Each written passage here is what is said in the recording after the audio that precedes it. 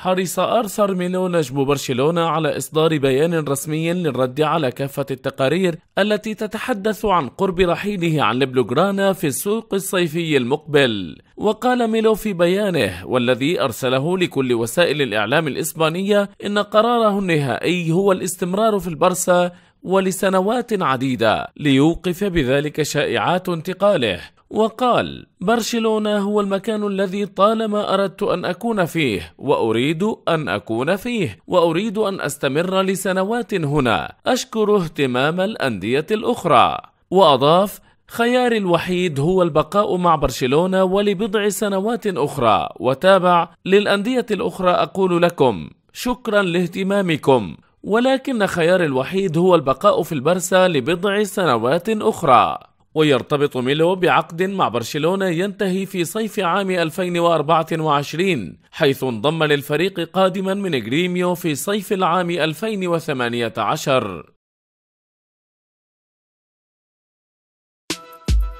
قالت شبكة سبورت ميدياسيت إيطاليا إن صفقة انتقال الأرجنتيني لوتارو مارتينيز مهاجم إنتر ميلان الإيطالي إلى برشلونة أصبحت معقدة للغاية. ويرغب برشلونة في الحصول على خدمات لوتارو مارتينيز في الموسم المقبل كي يكون خليفة للويس سواريز في صفوف البلوغرانا حيث ينتهي عقد الأخير مع البرسا صيف 2021 وقالت سبورت ميدياسيت إيطاليا إن مطالب إنتر ميلان فيما يخص بيع لوتارو مارتينيز أصبحت معقدة للغاية وربما تؤدي إلى فشل انتقاله إلى برشلونة وأشارت إلى أن إدارة إنتر ميلان تطلب الحصول على 90 مليون يورو نقدا بالإضافة إلى أرتورو فيدال وإعارة أنطوان غريزمان إلى النيراتزوري وهو ما يجعل الصفقة شبه مستحيلة بالنسبة لمسؤولي برشلونة وتابعت قيمة الشرط الجزائي في عقد لوتارو مارتينيز مع انتر ميلان 111 مليون يورو وسعر فيدال 20 مليون يورو وسيكون من المستحيل على برشلونة أن يدفع 90 مليون يورو ويبيع فيدال ويفرط في خدمات غريزمان على سبيل الإعارة في ظل المقابل الضخم الذي دفعه لضم اللاعب وهو 120 مليون يورو. كشف موقع كالتشيو ميركاتو الإيطالي أن يوفنتوس يحلم بالتعاقد مع المهاجم الفرنسي كيليان مبابي نجم باريس سان جيرمان وينتهي عقد مبابي مع سان جيرمان في صيف 2022 مع وجود اهتمام قوي من قبل ريال مدريد وليفربول بضمه.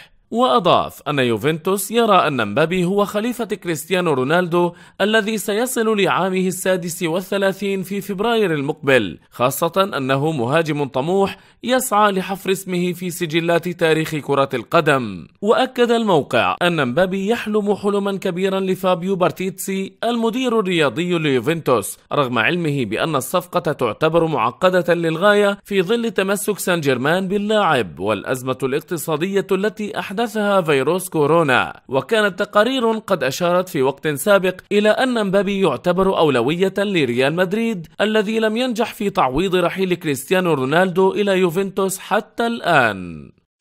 كشف برنامج شرينجيتو الإسباني الشهير عن إصابة الأرجنتيني ديبالا نجم يوفنتوس مرة أخرى بفيروس كورونا بعد أن تعافى من المرض مؤخرا. وقال مقدم البرنامج جوسيب بيدريول باولو ديبالا مصاب بفيروس كورونا بعد إجرائه لاختبار فيروس كورونا وكانت النتائج إيجابية. وكان نجم يوفنتوس الإيطالي قد تحدث عن تجربته مع الإصابة بفيروس كورونا المستجد. وكشف المهاجم الأرجنتيني في تصريح مقتضب عن طريقة تعامله مع المرض. وكان ديبالا واحدا من أبرز الرياضيين الذين أصيبوا بكوفيد 19 وحدث ذلك في شهر مارس الماضي. ونقلت صحيفة ماركا الإسبانية عن ديبالا قوله في هذا الصدد كان من الصعب قليلا التعايش مع المرض.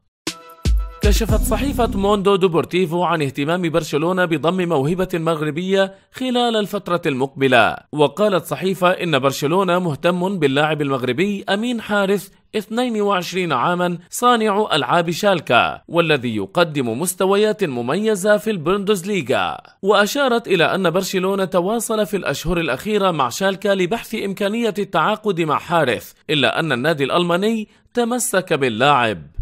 ويضم شالكا بين صفوفه حاليا الفرنسي جاك كيلر توديبو مدافع برشلونة على سبيل الإعارة حتى نهاية الموسم مع أحقية الشراء مقابل 25 مليون يورو. واقترح الفريق الألماني عقد صفقة تبادلية ينتقل على إثرها حارث لبرشلونة مقابل تحويل إعارة توديبو لانتقال النهائي لكن النادي الكتالوني رفض العرض.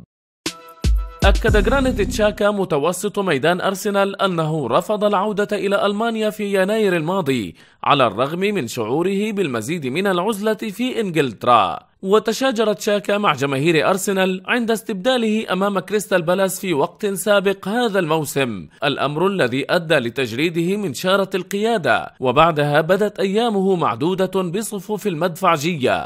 وعرض عليه الانتقال إلى هيرتا برلين إلا أنه فضل البقاء. وعن تواصله مع هيرتا برلين قالت شاكا بحسب ما نقلت صحيفة ديلي ستار البريطانية الأمر لم يعد يمثل أزمة بالنسبة لي. نعم كان هناك تواصل وعرض لكن في النهاية قررت البقاء هنا في لندن. وأضاف بعد ثلاث سنوات ونصف لن ألغي كل شيء بنيته. أنا الآن أركز على قوتي وحوافزي وآمل في أن أعود إلى الملعب قريبا.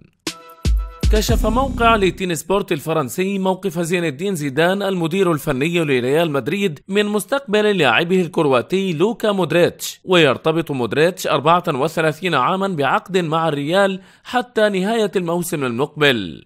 ما دفع إدارة الميرينجي للتفكير في بيعه الصيف المقبل من أجل تحقيق ربح مادي. لكن الموقع ذكر أن زيدان متمسك ببقاء مودريتش في الموسم المقبل حيث ينوي الاعتماد عليه في مباريات دوري الأبطال والاستفادة من خبراته الكبيرة. وقد يتسبب قرار زيدان في تأجيل عودة النرويجي مارتن أوديغارد المعار إلى ريال سوسيداد وتمديد إعارته هناك. ويأتي ذلك رغم رغبة إدارة النادي الملكي في رؤية أوديغارد بقميص الريال الموسم المقبل إلا أن القرار النهائي سيكون للمدير الفني وفقا للموقع الفرنسي. وشارك مودريتش في 30 مباراة بقميص ريال مدريد هذا الموسم حيث سجل خمسة أهداف وصنع مثلهم.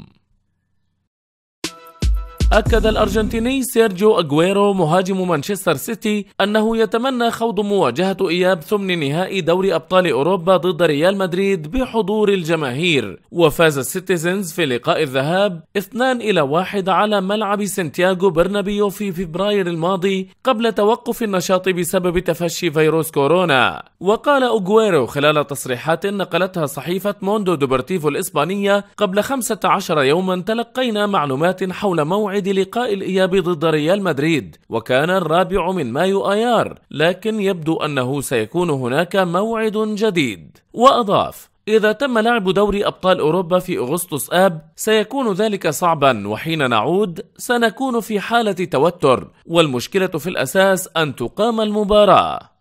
وتابع. نود أن نلعب لقاء العودة بحضور الجماهير وهذا ليس سهلا. نحن حققنا في الذهاب نتيجة إيجابية. واختتم بالنسبة لمستقبلي لا زال يتبقى عام ونصف في عقدي مع مانشستر سيتي.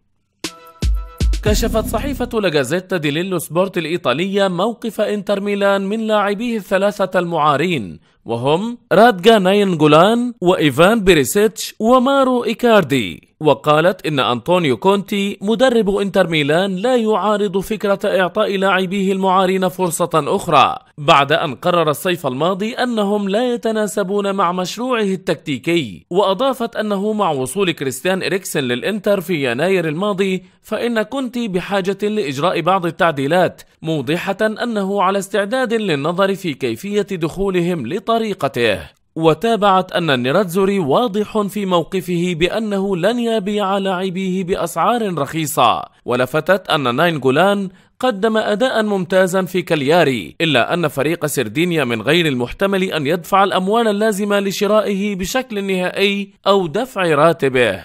وواصلت بالنسبة لبيريسيتش فبرغم تألقه مع البايرن وتسجيله خمسة أهداف وصناعته ثمانية في 22 مباراة إلا أنه لا توجد ضمانات بأن عملاق البوندسليغا سيدفع 20 مليون يورو لشرائه عزيزي متابع قناة عرب جول هل تتوقعون رحيل مبابي ليوفنتوس؟ شاركنا برأيك